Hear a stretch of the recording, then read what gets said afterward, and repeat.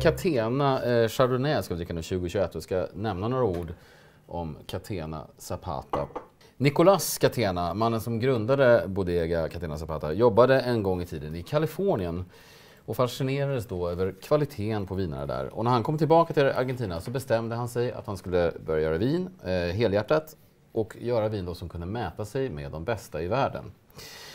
Han började göra grundliga analyser av både jordmånen och eh, vingårdslägen och satsade framförallt på odlingar på hög höjd som ju är en viktig del av Argentinas framgång.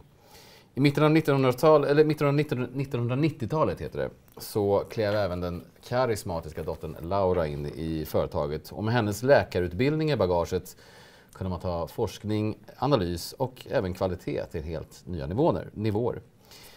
Malbec, Cabernet och Chardonnay är Catenas viktigaste druvsorter som man jobbar med. Och det stora genombrottet för Catena kom när de i en rad blindprovningar slog några av världens högst rankade viner. Och resten är, som man säger, historia.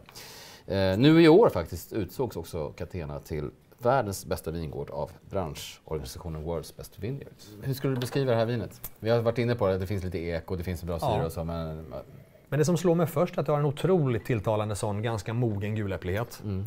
Um, sen så är det ju inte ett aromat, alltså om man jämför med, med uh, första vinet som uppenbarligen är väldigt aromatiskt, mm. uh, så Torrentessen är ju superaromatisk och väldigt så nästan doftoffensiv om man jämför. Uh, här är ju frukten lite mer nedtonad till fördel för balansen mellan uh, kryddighet och, och fruktighet. Ja, man får ju lite mer fat och nästan mm. lite mer kardemumma-toner på något sätt. Lite, jag får lite, lite kanel, ja, lite så den grejen. Mm. Utan, utan, att det blir för den sakens skull julkryddigt. Ja, inte, inte alls. Det, det finns nyanser som att man liksom mm. så här sprinklar lite på det. Mm.